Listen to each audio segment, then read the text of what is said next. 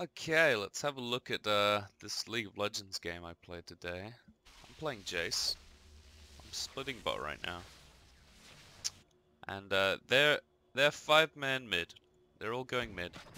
And we're all on the bot side of the map. So they're gonna go towards Baron. And we don't have any wards on it, apart from this. So, you know, they're gonna go for Baron here. So Janna starts recalling. Nice. Uh, and they they start Baron. Don't have any wards. So, you know, we go over. Go over. TF's up here. Gets rid of the blast cone for no reason. Ezreal's in. We almost get Morgana. But they back off. I don't know what the fuck that was by Amumu. They all stand in the package for 10 minutes. But they got off Baron. So, let's see. I'm half HP, half mana. TF's half HP. Ezreal's half HP. Amumu's, yeah, like two thirds. Uh, Morgana's basically dead. Shen is recalling, but he still has ulti. And Corki's three quarters, Jarvan's half. So they have a slight advantage. You know.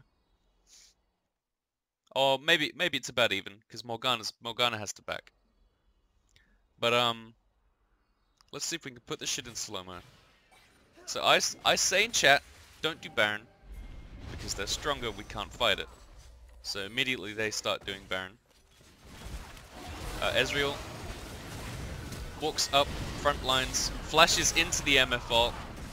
Everyone stands in the Jarvan and the M MF. Ezreal, still there for some reason, hasn't ran away. Still there. Now he ease away gets blown up because he stayed way too long. And now they get a free Baron.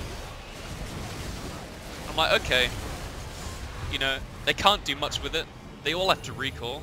We still have all our inhibs up, all our inhib towers up. We just have to farm it out. You know, play safe, wait out the Baron. And, you know, it's not that bad. Yeah, everyone died. Yeah, we all lost Baron. But I think we can easily come back from this. Uh, all we have to do is kind of wait it out, and they surrendered. Four to one. Uh, you know what? Just unlucky. I think uh, nothing I could have done in that situation. XD.